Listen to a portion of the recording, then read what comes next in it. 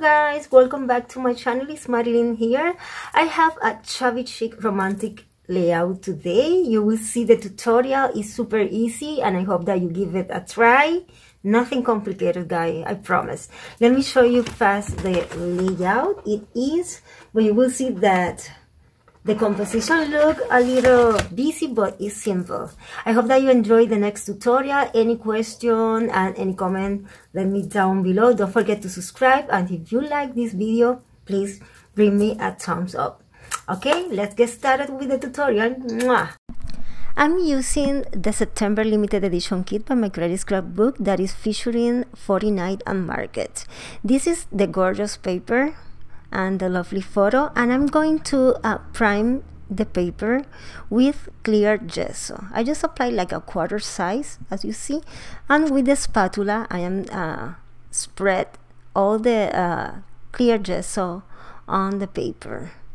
I'm going to let it dry and now I'm going to frame my photo. I got this frame from one of the, I think it's from the book of the laser cuts and look how lovely it looks now.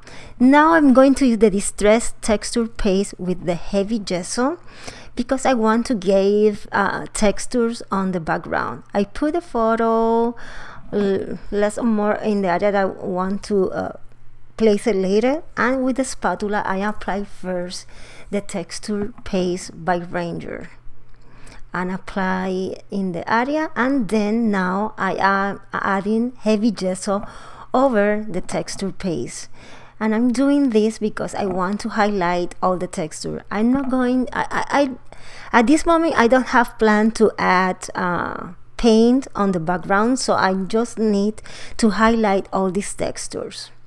And I'm going to dry this now and you can see here how it looks. It's dry.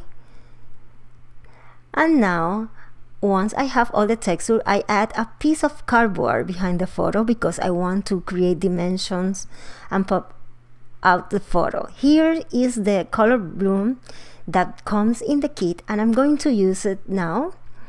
But I'm going, I am cutting now a piece of cheesecloth and I'm using uh, a bottle with a spray water in the cheesecloth just to wet the fabric and now I add the color bloom. In that way, it's easier to dye the fabric.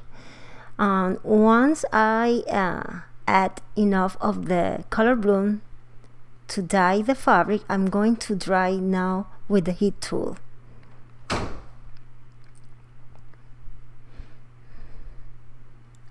Once it's dry, I am frying now all the edges of the fabric because I want to create a lot of texture and I place it on the background in this way. I'm just playing with the edges, frame a little, and then I am hitting now the photo to the uh, background. I center the photo in the area that I want and I'm still playing with the fabric. Here is the bind, the flower bind, and I uh, cut it by half because I want to place one half on the bottom and the other half in the side. But the three, the tip to work with the bind that you have to manipulate the leaf and you know like give it form to every piece here of the wine. I will play a little with it with all these uh, things. And I take a few pieces of the laser cut here and mix it with the vine. Now I take the flower and cut through the petals here because I want to give a little of dimensions and I add a 3D foam tape on the back and in that way it looks more uh, natural. And I will do the same and I continue cutting through the petals on, in all the flowers uh, from the laser cuts. And I also uh, give uh, I'm inking all the edges with distress. Vintage photo. And I'm playing now with all the flowers here to give to make my composition. I'm going to use and add some of the flowers uh, from 49 a Market that comes in the kit here.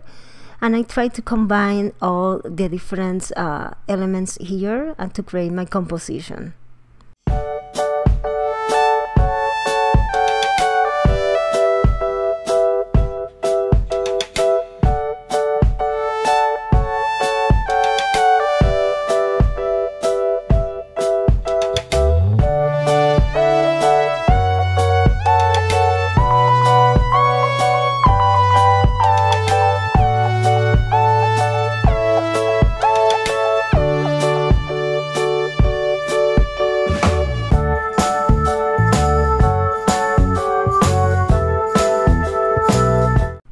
you can see here I add here everything now and look how lovely is this detail here between the, all the leaves. The flowers this is part of the vine look the keys with the hearts look the flowers the laser cut flowers. Everything looks so pretty. Look this tiny heart here is so lovely. And once I have all this adhered now I'm going to add the pearls and some art stone with gel medium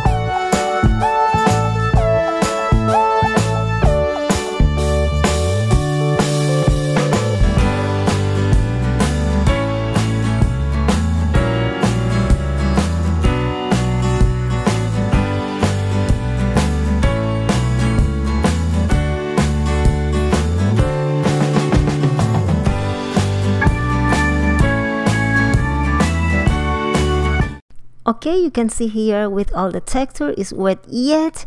Now I cover the photo and I'm going to add white paint splatters.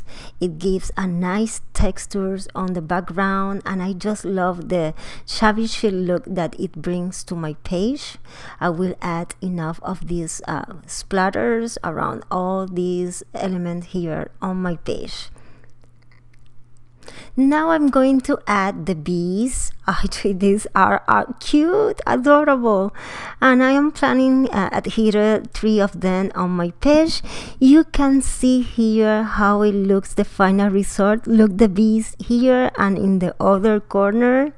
I just love the final result and as you see it's simple it's nothing complicated I hope that you like this video and if you like it please bring me a thumbs up. Don't forget to share this. And you can see here how it looks outside uh, within this photo.